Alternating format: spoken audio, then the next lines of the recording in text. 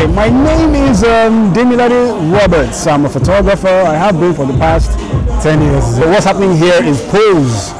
So Pose is my little baby, is my little project where I just invited a few people to come and take pictures on my set. So just to invite people into the experience of photography and see what goes into the images that they see in their magazines and in their blogs.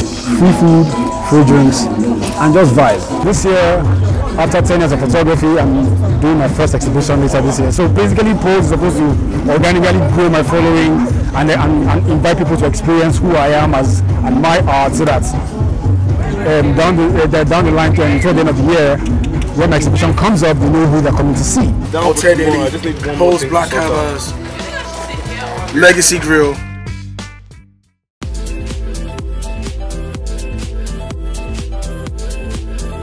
The Alternative Network.